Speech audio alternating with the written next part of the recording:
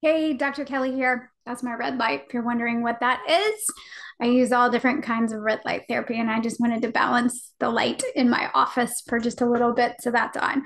I have a few minutes, and I wanted to do a video about mitochondria and healing at the level of the cell. So these are just a few of my thoughts. If you like this video, please hit the like button. And if you haven't already, please hit subscribe. I would greatly appreciate that. So happy healing. Hey, hey, welcome back. So, or welcome if you're new. I wanted to talk a little bit about healing at the level of the cell. So, when you work with people long enough and you realize that deep healing, when you're going to have deep healing, it's going to have to be healing at the level of the cell. So, all roads lead back to quantum biology, essentially. But it really is all about energy. So, everything is always going to come back to energy you can think about that in kind of a woo woo way, but we're going to talk about it in in the in cells. So energy in the cells. What actually makes our energy? So what makes energy in the cell? Mitochondria. Yes. What do your mitochondria need in order to function really well? So we can have really healthy mitochondria by doing a few things, uh, diet and lifestyle kinds of things. So what does mitochondria need to be able to do its job. And remember, at the end of the day, mitochondria is really about moving electrons. We are electrical beings first and foremost. So, mitochondria, in order to function well, need a few things. So, at a really basic level, we need oxygen. So, it's going to take us back to the breath. So that's why we talk about breath work a lot and oxygen because breath is life. So we need oxygen. We need food. We could argue all day about what kind of food the mitochondria need. Um, we're not going to do that. The, the mitochondria need food. And um, I would argue that from a quantum perspective, that food is information. So we can use food as fuel, we can use food as medicine, we can use food as information. And at the level of the cell, that is what I'm most interested in is what information is your body getting from the food that you are ingesting. So there are all kinds of things about that. Like, what are you actually absorbing when you're eating? Um, are you absorbing any of the nutrients from what you do eat? That kind of thing. But really, we're going to keep it basic oxygen, food, and sunlight. Right. You know, I'm not going to have a video without talking about the sunlight, right? So, really getting I don't know, I keep using the word fixing. That's not a great word, but really getting in alignment with your circadian rhythms or getting that on track is one of the best, very easiest ways to heal. I can't say that it's easy, it's simple. So these things are simple. Oxygen, food, and sunlight are very simple. Another very simple thing.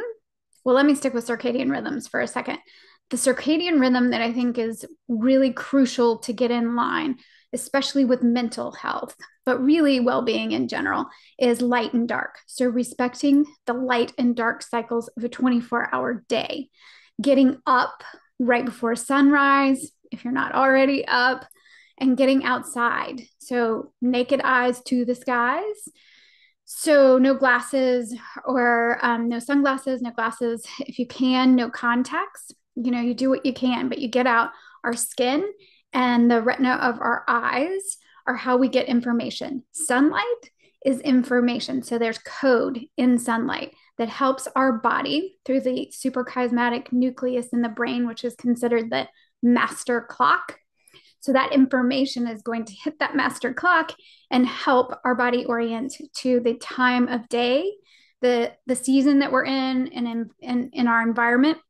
So it then leads to a series of other things that need to happen in the body. So popping outside as much as you possibly can and getting that natural sunlight movement. You don't actually have to see sunrise or have a great view of sunrise.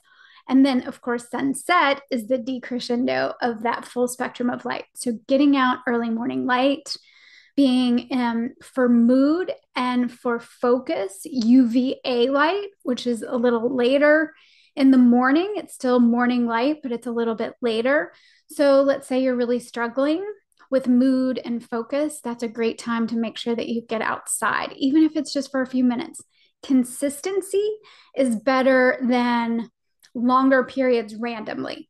Does that make sense? Okay, so if you can only go out for two minutes every single day, that's better than doing like 30 minutes only on Saturdays. Yeah, but you do what you can do. We start where we can start.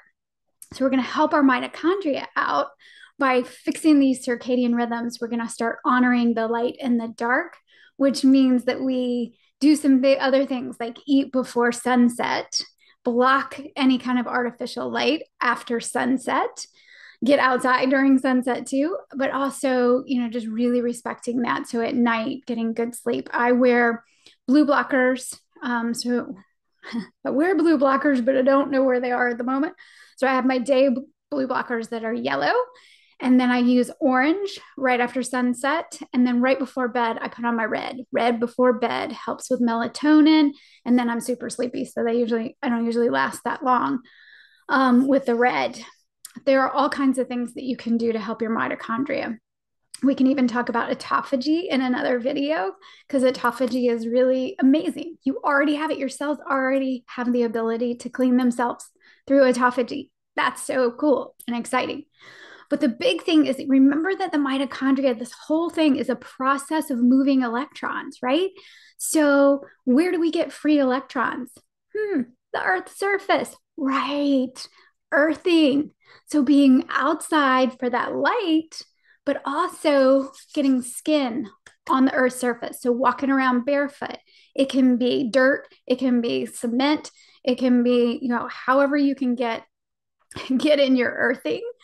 That's what you want to do. If it's freezing where you are, you're going to be doing a lot less, just real quick. But if it is warmer out, then you can spend longer time outside if you are running outside and you still have on your shoes, put your hands down. It's just skin, skin on Earth's surface. So that's going to be better than nothing. But that is how we absorb free electrons through our skin.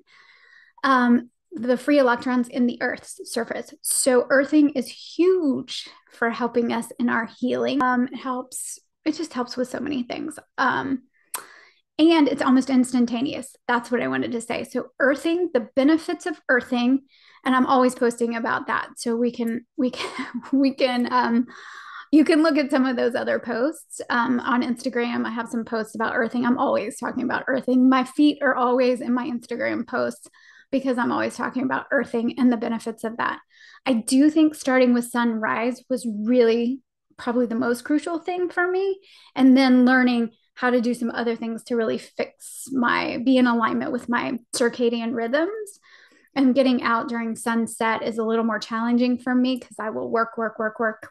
And so I have to really kind of put some boundaries there and make sure that I'm outside during sunset.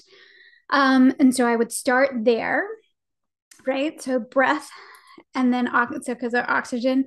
And then most people like to start with the food, but I think it's better to start with the sunlight, um, the sunshine and the information from the sunlight. So hopefully that's helpful because all healing, we're going to end up talking eventually about healing at the level of the cell. So, and it's always going to come back to energy. So, ATP, making the ATP in the cell. That's the mitochondria's job. So, hopefully, this information is helpful to you. Uh, if I can be of any help to any of you, please let me know and check out my website, nourishsoul.com, nourish-soul.com if um, I, I try to put more information up there. And then again, I'm always posting information on Instagram if you want to follow me there. So I hope to connect with all of you. Happy healing.